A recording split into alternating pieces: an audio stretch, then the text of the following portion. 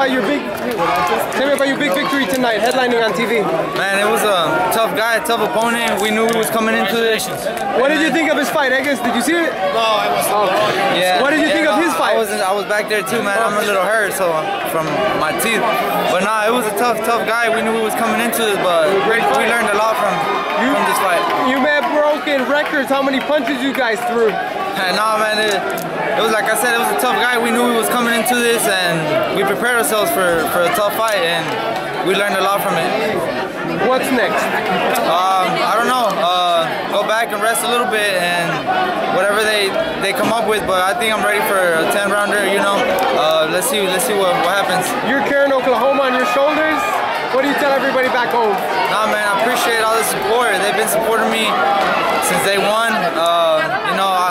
Keep representing and putting all my work in the gym to to give you guys good fights. You're very, very accurate. Your hands are like darts. How are you like that? When you see an opening and you just you don't miss. Yeah, no, it's, it's, it's experience. You know, we've been boxing for since I was since I was young, but we got to work a lot in our movement. And there's a lot of things I learned from this fight, and we're gonna you know do better next one. Who's your favorite fighter all time? Uh, right now, Triple G.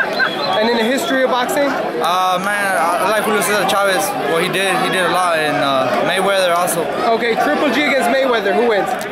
Uh, it's, it's a tough one, man. I, uh, I would pick Mayweather. Really? Why? Even though Uh, Triple G is your favorite. Yeah, nah, just because I mean the boxing, the boxing. Uh, I don't think Triple G can catch him.